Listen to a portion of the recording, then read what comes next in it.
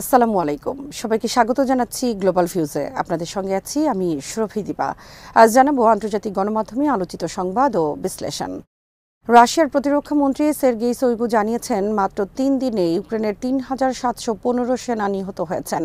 রুশ বাহিনীর বিরুদ্ধে পাল্টা হামলা চালাতে গিয়ে এসব সেনার প্রাণ গেছে বলে জানিয়েছেন তিনি। সংবাদ সম্মেলনে এমন তথ্য জানিয়ে তিনি বলেন, গত চারই জুন ইউক্রেনীয় মেকানাইজড ব্রিগেড পাঁচ দিক থেকে এগিয়ে আসার চেষ্টা করে। কিন্তু শত্রুরা কোনো দিক দিয়েই সফলতা পায়নি এবং বড় ক্ষয়ক্ষতির শিকার হয়েছে। এদিন তাদের তিনশো সেনা নিহত এবং ষোলোটি ট্যাঙ্ক, ছাব্বিশটি সাঁজোয়া যান এবং চোদ্দটি ট্রাক ধ্বংস হয়েছে। রুশ প্রতিরক্ষা মন্ত্রী বলেন, পাঁচই জুন ইউক্রেন সাত দিক দিয়ে পাঁচটি ব্রিগেডকে পাঠায়। তাদের রুখে দেওয়া এবং এদিন তারা আরও বেশি ক্ষয়ক্ষতির শিকার হয়। এদিন এক হাজার ছয়শো সেনা নিহত হয়। আটটি লেপার্ড ও এ এম এক্স টেন সহ আটাশটি ট্যাঙ্ক এবং একশো ছত্রিশটি বিভিন্ন রকমের যুদ্ধাস্ত্র ধ্বংস হয়, যার বেশিরভাগই বিদেশিদের তৈরি। তিনি আরও বলেন, শত্রুরা তাদের লক্ষ্য অর্জন করতে পারেনি এবং অতুলনীয় ক্ষতির সম্মুখীন হয়েছে।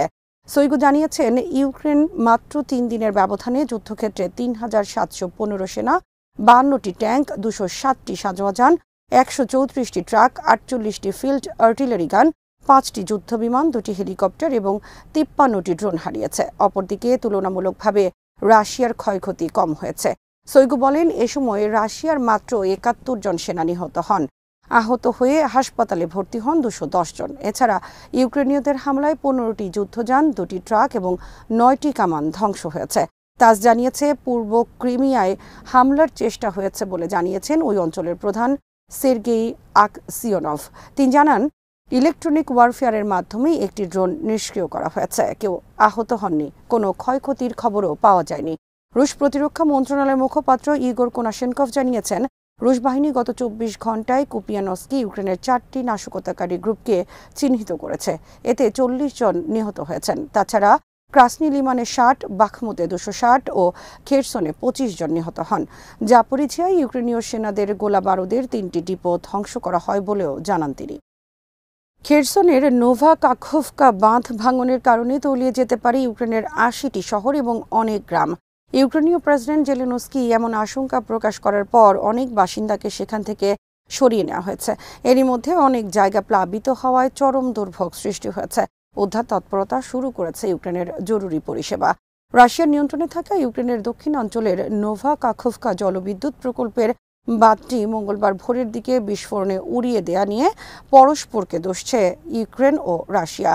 জাতিসংঘে রাশিয়ার স্থায়ী প্রতিনিধি ভ্যাসিলি নিরাপত্তা পরিষদে বলেছেন জাপরিঝিয়া পারমাণবিক বিদ্যুৎ কেন্দ্রকে লক্ষ্য করেই ইউক্রেন হয়তো উস্কানিমূলক হামলাটি চালিয়েছে। আরেকটি কারণ হতে পারে, ক্রিমিয়ার বাসিন্দাদের উপর প্রতিশোধ নেওয়ার জন্য উপদ্বীপটিতে পানি সরবরাহ বন্ধ করতে এই হামলা করা হয়েছে। এই হামলার জন্য ইউক্রেন হেগের আন্তর্জাতিক অপরাধ আদালত রাশিয়ার বিরুদ্ধে মামলা করবে বলে জানিয়েছে দেশটির প্রেসিডেন্ট ভলোদিমির জেলেনস্কি। খেরসন অঞ্চলে দিনিপ্র নদীর উজানে অবস্থিত জলবিদ্যুৎ প্রকল্পের নোভা কাখোভকা বাঁধটি মঙ্গলবার ভোরের দিকে কে বা কারা বিস্ফোরণের মাধ্যমে এর একাংশ উড়িয়ে দেয়। এতে বাঁধ ও জলবিদ্যুৎ কেন্দ্রের মধ্য দিয়ে পানি অনিয়ন্ত্রিতভাবে প্রবাহিত হচ্ছে। ইউক্রেনের দখলে থাকা অংশের অনেক জায়গা প্লাবিত হচ্ছে। খেরসনের ইউক্রেনপন্থী কর্তৃপক্ষ বলছে একটি বিপর্যয়কর বন্যার ঝুঁকি সৃষ্টি হয়েছে। জলাধারের পানির উপর নির্ভর করতে হয় সেখানকার কৃষকদের। জাপরিঝিয়া পারমাণবিক বিদ্যুৎ কেন্দ্রের পানির যোগানও আসে এখান থেকেই। এই পরিস্থিতিতে ঝুঁকিপূর্ণ এলাকার লোকজন নিরাপদ আশ্রয় খুঁজছেন। ইউক্রেনের উপ প্রসিকিউটর জেনারেল ভিক্টোরিয়া টেলিভিশনের সাক্ষাৎকারে বলেন, দিনীপ্র নদীর পশ্চিমে ইউক্রেন নিয়ন্ত্রিত অঞ্চলের সতেরো হাজার এবং রুশ নিয়ন্ত্রিত পূর্বে কমপক্ষে পঁচিশ হাজার বাসিন্দাকে অবিলম্বে সরিয়ে নেওয়া প্রয়োজন। ইউক্রেনের স্বরাষ্ট্রমন্ত্রী ইহোর জানান, এ পর্যন্ত প্রায় এক হাজারের বেশি মানুষকে সরিয়ে নেওয়া সম্ভব হয়েছে। চব্বিশটি বসতি প্লাবিত হয়েছে। নদীর পানির উচ্চতা হু হু করে বাড়ছে। খেরসন শহরের বাসিন্দা সেরহি বলেন, পানি যেভাবে বাড়ছে, তাতে মনে হচ্ছে এখানকার পশু পাখি সবকিছুই মারা যাবে। তুরস্কের প্রেসিডেন্ট রিসেপ তাইব এরদোয়ান বলেছেন, নবগঠিত সরকার তুরস্ককে তার অভীষ্ট লক্ষ্যে নিয়ে যেতে নির্বাচনী প্রচারের সময় দেয়া প্রতিশ্রুতি পূরণের দিকে মনোনিবেশ করবে।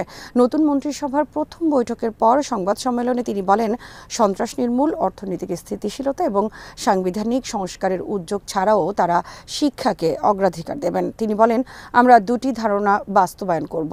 একটি হলো স্থিতিশীলতা, অন্যটি নিরাপত্তা। আমরা স্থিতিশীলতা এবং এবং নিরাপত্তার সঙ্গে তুরস্কের নতুন শতাব্দীকে আলোকিত করব। খবরে বলা হয়, সন্ত্রাসী গোষ্ঠী পিকেকের মার্কিন মদতপুষ্ট সিরিয়া শাখা ওয়াইপিজে আঙ্কারার জন্য বড় উদ্বেগের বিষয়। বর্তমান পররাষ্ট্রমন্ত্রী হাকান ফিদান গোয়েন্দা প্রধান থাকাকালে তাদের বিরুদ্ধে সিরিয়া এবং ইরাকে বেশ কিছু সফল অভিযান পরিচালিত হয়েছে। নির্বাচনী প্রচারে এরদোয়ান পিকেকে গোষ্ঠীকে নির্মূল করতে সিরিয়ার ভেতরে অভিযান পরিচালনার আভাস দিয়েছিলেন। বৈঠকে তুরস্কের ভেতর এবং বাইরে যুক্তরাষ্ট্রের সহায়তায় চলা এসব সন্ত্রাসীর বিরুদ্ধে নতুন উদ্যমে অভিযান পরিচালনা নিয়ে আলোচনা হয়। রাষ্ট্রপতি বলেন, নতুন সরকার সাংবিধানিক সংস্কারের প্রতি গুরুত্বারোপ করবে এবং পার্লামেন্টে সংবিধান সংশোধনী প্রস্তাব তুলবে। উনিশশো আশি সালে সামরিক অভ্যুত্থানের পর প্রবর্তিত সংবিধানেই বর্তমান তুরস্ক চলছে। এর জায়গায় একটি নতুন সংবিধান প্রতিস্থাপনের জন্য তার উপর চাপ রয়েছে। ক্ষমতাসীন জাস্টিস অ্যান্ড ডেভেলপমেন্ট পার্টি গত বছর থেকে এর খসড়া প্রণয়নে কাজ করছে।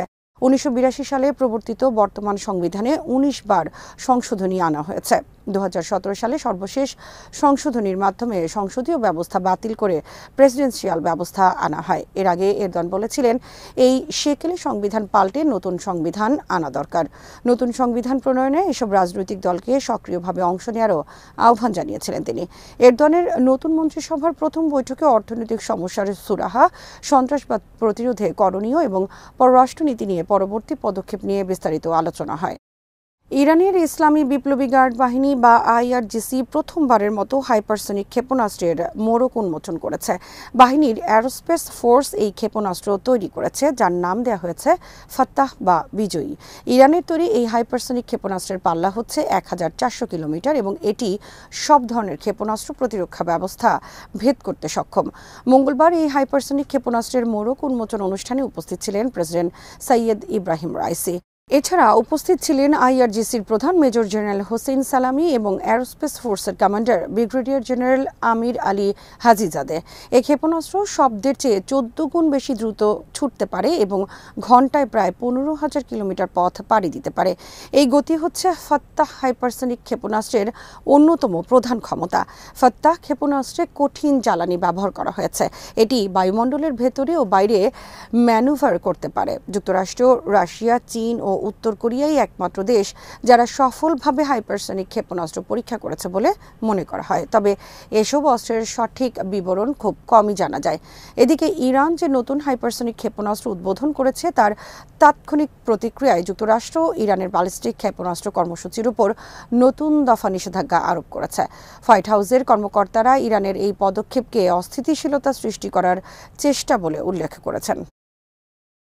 ভারতের কর্ণাটক রাজ্যে বিজেপির শাসনামলে গরু জবাইয়ের ওপর নিষেধাজ্ঞা দেওয়া হয়। দু হাজার একুশ সালে রাজ্যটিতে আইন করা হয়, যদি কেউ গো হত্যা করে, তাহলে তাকে সর্বোচ্চ সাত বছরের কারাদণ্ড দেওয়া হতে পারে। সেই কর্ণাটকে বিজেপিকে হারিয়ে গত মে মাসে ক্ষমতায় আসে কংগ্রেস। বিধানসভায় জয় পান নয় মুসলিম প্রার্থী। আর কংগ্রেসের একজন মন্ত্রী ইঙ্গিত দিয়েছেন, রাজ্যে গরু জবাই আইন তুলে দেওয়া হতে পারে। এছাড়া শিক্ষা প্রতিষ্ঠানে হিজাব পরা নিয়ে যে নিষেধাজ্ঞা আছে প্রয়োজন হলে সেটিও রদ করা হবে। প্রিয়াঙ্ক খার্গে নামের এই মন্ত্রী ভারতীয় সংবাদ মাধ্যম এনডিটিভিকে বলেন, গো হত্যার ওপর যে নিষেধাজ্ঞা রয়েছে, এটি রাজ্যের অগ্রগতির ক্ষেত্রে বিশাল বাধা, যা অর্থনীতির উপর বিশাল বোঝা হয়ে দাঁড়িয়েছে। কংগ্রেস থেকে নির্বাচিত এই জনপ্রতিনিধি আরও বলেন, শুধুমাত্র গরু ও হিজাব নয়, বিজেপির আমলে আরোপিত যেসব আইন পশ্চাৎগামী এবং রাজ্যের অর্থনৈতিক এবং সামাজিক উন্নয়নে বাধার কারণ হবে সেগুলো পরিবর্তন করা হবে। তবে এসব আইন পরিবর্তন করতে গিয়ে যদি রাজনৈতিক রাজনৈতিক চাপ আসে, তখন কি করবেন এমন প্রশ্ন করা হয় প্রিয়াঙ্ক খার্গেকে। জবাবে তিনি বলেন, আইন পরিবর্তনের এই চিন্তা রাজনৈতিক নয়, পুরোটাই অর্থনৈতিক। তিনি বলেন, গোহত্যা বিরোধী আইন করা হয়েছিল নাগপুরের মনিবদের সন্তুষ্ট করার জন্য। এই আইন খামারি বা এর সঙ্গে জড়িত কারও উপকার করেনি। এদিকে নতুন করে আবার অশান্ত হয়ে উঠেছে ভারতের মণিপুর রাজ্য। এবার গুলিতে নিহত হয়েছেন এক বিএসএফ সদস্য।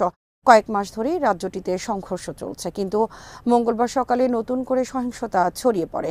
মঙ্গলবার সকালে সুগুনু ও সেরৌ এলাকায় চলছিল এরিয়া ডমিনেশন।